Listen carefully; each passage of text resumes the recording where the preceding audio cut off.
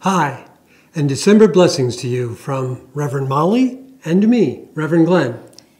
In church, the weeks leading up to Christmas are called Advent, a season of getting our hearts and homes ready for the birth of the Christ child. Along with all the decorating, baking, entertaining, and gift buying we do to get ready, one of the best ways to ready your heart and soul for Christmas is to experience a faith community's meaningful and engaging worship. At Orleans United, we really look forward to this season of Advent and all the possibility it brings. Beloved music and carols, familiar stories with the children, and meaningful messages shared with our whole faith family. We'd like to invite you to worship with us beginning this Sunday at 10 a.m. and every Sunday in December so you can experience the wonderful mix of hope, peace, joy, and love we appreciate during this season.